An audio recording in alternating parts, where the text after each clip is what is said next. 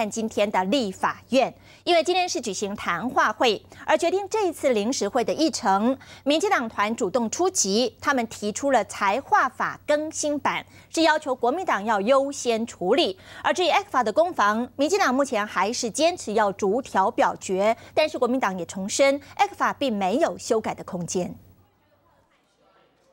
一大早，蔡英文以民进党主席的身份到党团大会督军，民进党更主动出击，在谈话会召开前提出财划法更新版，要求先审查突袭国民党。我们呃新北市本来应该要增加的这个税入也减少了一百八十九亿哈，那甚至高雄市也减少了四五十亿哈，那么这个对呃地方的财政跟呃升格以后的这个。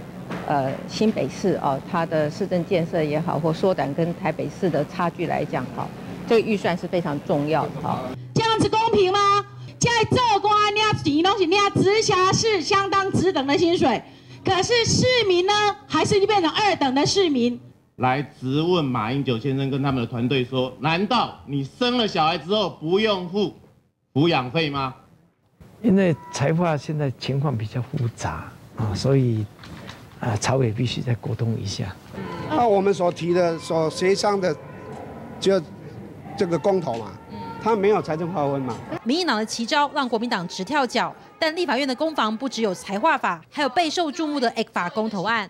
绝对是要逐条讨论、逐条表决，这是本党的底线。国民党找理性的话，我也会跟着理性。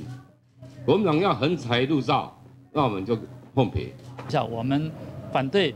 民进党他所提的要 F 法公投，因为这个是多此一举。公投审议委员会，呃，既然驳了，呃，整个公投的一个呃申请，那我觉得民进党也应该遵守这样的一个规则。